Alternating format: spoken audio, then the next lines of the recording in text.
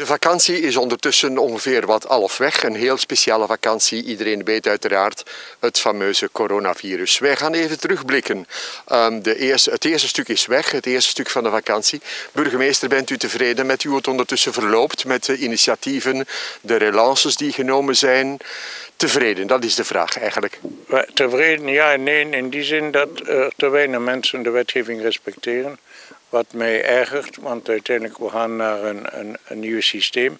Ik denk dat indien de Veiligheidsraad morgen uh, de beslissing neemt, niet neemt uh, om in de winkelstraten uh, maskers te dragen, zal ik dat verplichten.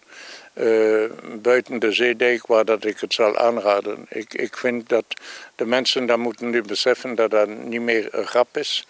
En de virologen zeggen dat er uh, in september van de 6000 naar de 10.000 mensen zouden kunnen in klinieken opgenomen worden. Dat is niet meer haalbaar. Dus we moeten realistisch blijven en uh, zeggen dat er uiteindelijk uh, iets anders zal uit de, uit de, bus komen. Wij wachten af morgen voor de Veiligheidsraad. Als ze dat niet beslissen, neem ik die beslissing op lokale vlak. en dat zal uitgevoerd worden. En ik zal ook een beslissing nemen dat uh, vanaf een bepaalde uur, zal, het kan 9 uur zijn, het kan 10 uur zijn, maar de nachtwinkels geen alcohol meer mogen verkopen. Inderdaad, ik hoor ook van de minister van Volksgezondheid de Blok dat ze de bevoegdheden, de beslissingsrechten meer naar lokale besturen gaan, meer naar burgemeesters. Uh, sluiting van winkels, sluiting van horecazaken. Hoe staat u daar tegenover? Maar kijk, ik sta daar, uh, ik heb het duidelijk gezegd, ofwel is er een lockdown nationaal en voor iedereen. Uh, maar een lockdown lokaal is onmogelijk. Je kunt bepaalde beperkingen nemen, zoals maskers verplichten uh, en uh, alcohol verbieden in bepaalde winkels. Maar, maar je kunt niet verder gaan, want uiteindelijk, als we zeggen Knokkenhees is in lockdown, wat betekent dat? Dat, dat? onze gemeente afgeschermd is, dat niemand binnen mag, niemand buiten mag. Dat is onmogelijk, dat is technisch onmogelijk. Dus daar, moeten ze, daar beseffen ze ook. Uh, het zijn beperkte maatregelen die een burgemeester zou kunnen nemen om uiteindelijk de voorzorgmaatregelen te voorzien tegen corona. U denkt er niet aan dus om te zeggen ik ga bepaalde wijken afsluiten, ik ga bepaalde zaken sluiten, bepaalde nee. horecazaken sluiten, dat is taboe? Nee, dat, nee, ik zeg niet dat taboe is.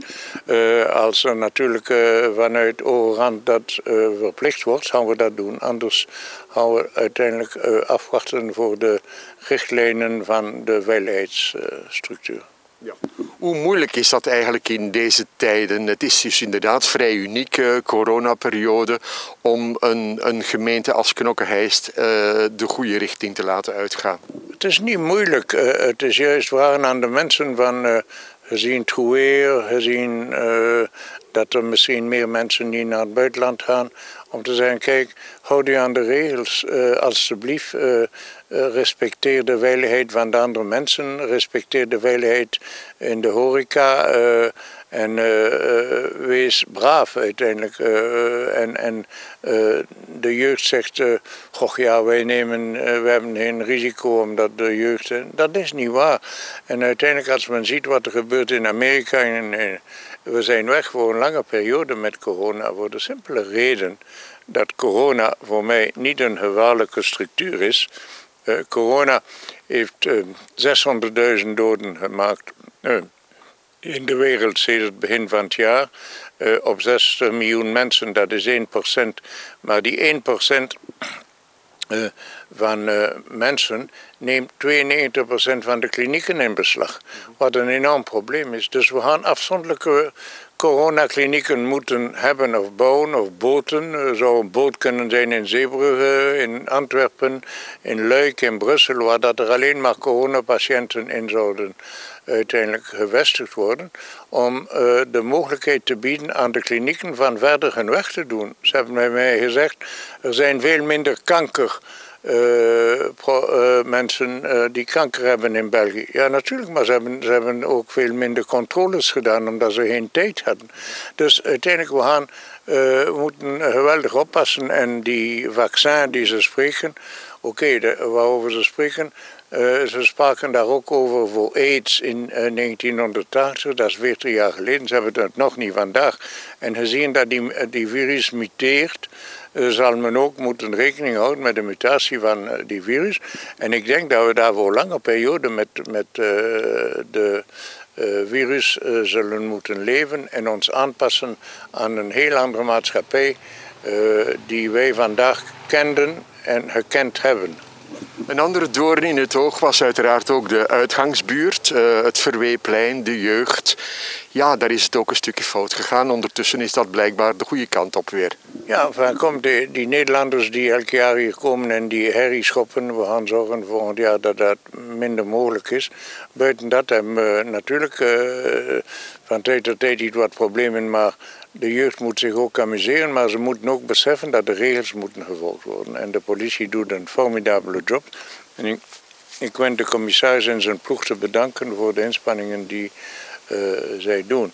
Nu, uh, ik weet dat u mij ook zult vragen wat gebeurt er met de evenementen en manifestaties, zoals bijvoorbeeld de Zoete Grand Prix of de Concours Piek of de Vuurwerkfestival. Maar daar, daar door, niet doorgaan de Vuurwerkfestival, Concours Piek ook niet. Misschien zal de uh, Zoete Grand Prix alhoewel dat zij zeggen het gaat door, zal misschien niet doorgaan. Indien de uh, coronamaatregelen het niet toelaten, zal het niet doorgaan, wat er ook gebeurt. Want ik ga geen veiligheidsstructuren uh, laten gebeuren uh, die niet volledig in orde zijn. voor wat zulke activiteiten betreft. Het is al een kleinere zoete Grand Prix, oké.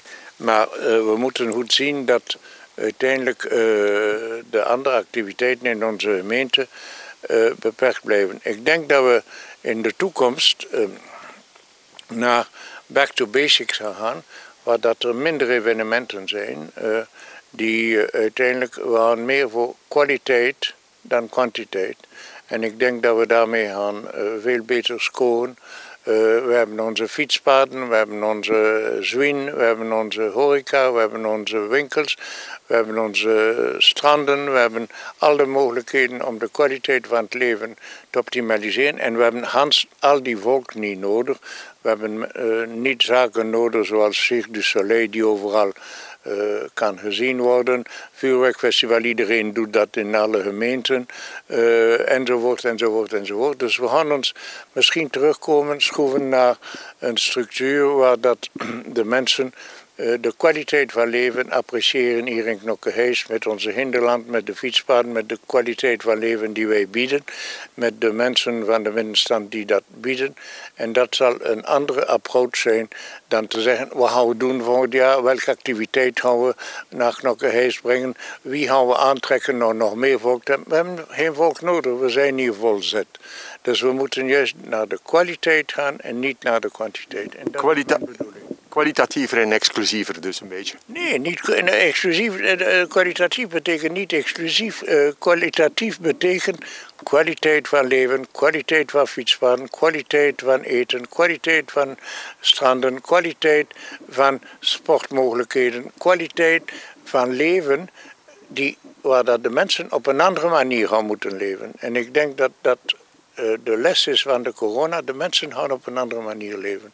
En dat is wat wij gaan misschien als uh, eerste gemeente zeggen, we gaan in die richting. Een mooier besluit konden we niet nemen. Burgemeester, hartelijk dank voor deze toelichting. Sava, bedankt.